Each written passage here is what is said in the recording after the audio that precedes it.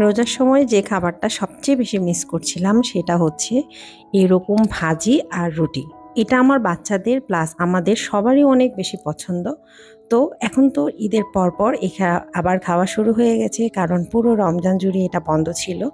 তো এখন হচ্ছে রুটি আর ভাজি করছিলাম সকালবেলা উঠে। যেহেতু বাচ্চাদের স্কুল এখন বন্ধ আছে, তাই একটু লেট করেই উঠছিলাম। আসলে যতটা সময় নিজেকে একটু রেস্ট দেওয়া যায় এই আর কি। তো এই তো সকালবেলা রুটি, ভাজি আর চা নিয়ে বসে আছি। এর এর চেয়ে ভালো নাস্তা বা এর চেয়ে ভালো ব্রেকফাস্ট আসলে আর কিছুই হতে পারে না। আর গরমের মধ্যে চা খেতে অনেকেই ভয় পান কিন্তু আমরা তো আসলে চা খাওয়ার অভ্যাস, এজন্য সেটা মিস করি এটা ছিল শুক্রবারের একটা ব্লগ আর এই যে সকালবেলা নাস্তা করে এই গরমের মধ্যেই কিন্তু আমরা তিন মা মেয়ে মিলে চলে গেছি বাচ্চাদের কোচিংয়ে আর বাচ্চাদের কোচিং কিন্তু শুক্রবার সকাল দশটা থেকেই থাকে। তো এই তো এটা হচ্ছে দশটার দিকে আমরা রিক্সায় করে যাচ্ছিলাম।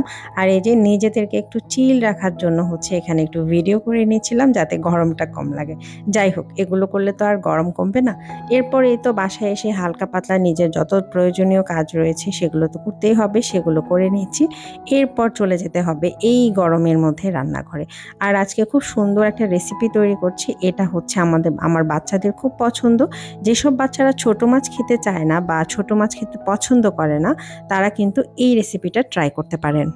এই রেসিপিটা ছোট, বড় সকলেরই অনায়াসে অনেক বেশি পছন্দ হবে। আশা করছি বাসায় বানিয়ে যখন বাচ্চাদের দিবেন, বাচ্চারা অনায়াসে পছন্দ করে খাবে। এই যে এরকম ক্রিস্পি করে আমি হচ্ছে ছোট মাছগুলো কিছুই না জাস্ট হচ্ছে একটু হলুদ আর একটু লবণ দিয়ে আমি হচ্ছে ভেজে নিচ্ছি।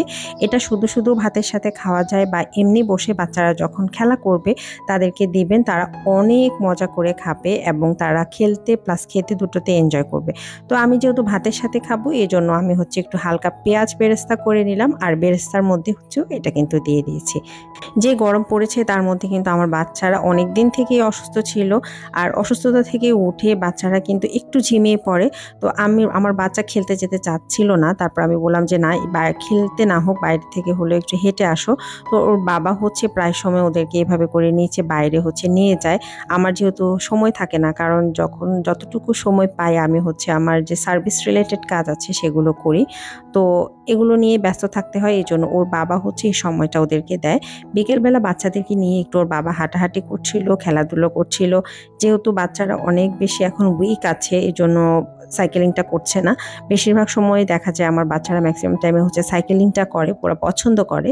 আর হচ্ছে এই যে বাচ্চারা এখন অনেক উইক আর গরমের কারণে অসুস্থ হয়ে গিয়ে আরও বেশি উইক হয়ে পড়েছে। কিন্তু আমি সবসময় চেষ্টা করি বাচ্চাদেরকে এই গরমের মধ্যে বেশি করে পানি খাওয়াতে বা বেশি করে হচ্ছে ফ্রুটস জাতীয় যে খাবারগুলো রয়েছে সেগুলো বেশি বেশি করে খাওয়াতে।